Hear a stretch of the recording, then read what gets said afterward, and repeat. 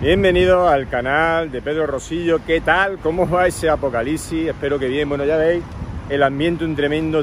Falta ahora mismo 55 minutos para que teóricamente comience la manifestación. Por aquí no se ve mucha gente. Hombre, en teoría tendrían que llegar, pero fijaos.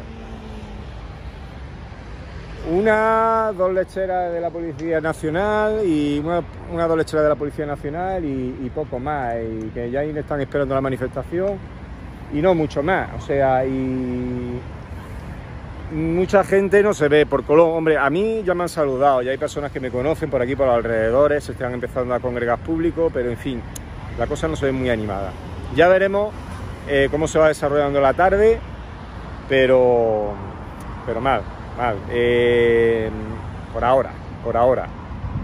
Señores, que lo que he estado comentando con unas personas también seguidoras mías que me han parado, que si no es por los, si no movilizan los partidos políticos, los sindicatos, la gente no se mueve. Y los partidos políticos los sindicatos son nuevo orden mundial, o sea, pertenecen a los malos, así que imaginaos, muy dormido. Espero que se encienda la chispa, no se sabe nunca, ¿eh? Nunca se sabe con dónde puede estar la chispa. Todo parece muy tranquilo, todo parece que una balsa de aceite, pero en cualquier momento salta la chispa y se revoluciona todo. O sea, en estas cosas nunca sabe uno eh, cuándo puede pasar. Pero aparentemente podemos decir que por ahora eh, Pedro Sánchez tiene que estar contento y durmiendo a, a pierna suelta, pero vamos, totalmente, porque los españoles no tienen intención de defenderse.